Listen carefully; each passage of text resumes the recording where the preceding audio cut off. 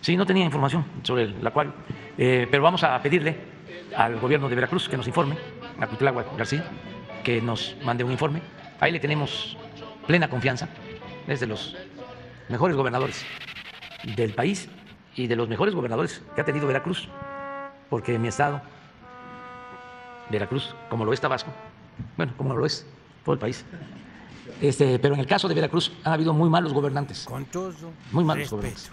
Eh, Llevaba mucho tiempo que no había un buen gobernador como Cuitláhuac, porque puro gobernador, ventajoso, no quiero decirlo fuerte, la verdad, que llegaban al cargo a enriquecerse, hacían enormes fortunas y mansiones y yates y departamentos en el extranjero durante bastante tiempo. Y para mí es eh, muy satisfactorio que haya en Veracruz un gobernante honesto.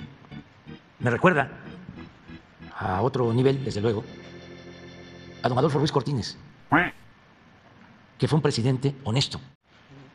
Entonces, por eso vamos a pedirle a Cuitlagua que nos informe y también a la Secretaría de Medio Ambiente. Sí, vamos también a pedirle al gobernador y además ya eh, hiciste la denuncia y eso nos ayuda mucho, porque ya se enteran en Veracruz y en todo el país y esto ayuda a que se resuelvan los problemas, que es lo que eh, debemos de procurar todos los servidores públicos.